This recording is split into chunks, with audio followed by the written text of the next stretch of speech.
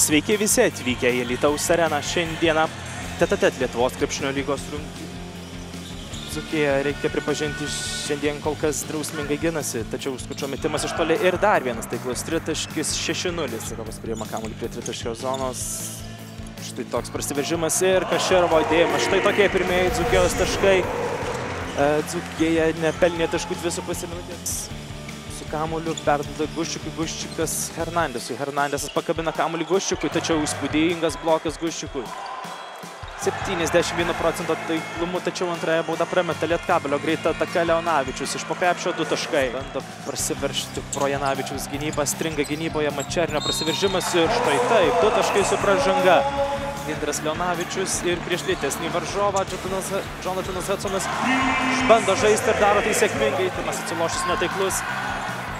Chaotiška kova dėl kamulio ir ją laimikas Gediminas Navickas ir jį stabdo Mindaugas Lukauskas. Gal Janavičius, Janavičius prie tritaškio Taroliui, Tarolis iš toli ir taiklus Tarolio metimas. Prasidėjus prieš paskutinį trečią kelnių minutį. Turi galimybę išlyginti rezultatą. Ta ir daro Jamesas Geivinas. Atsino perdamas po krepšių, Kaširovas atgal.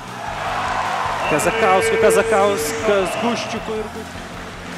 Andro Hernandeso netikslus perdavimas, klaida ir Lavrinovičius pasileidžia greitą polimą ir jo dėjimas iš viršaus.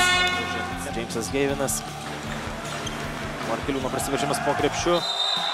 Ir taškai yra įskaitami.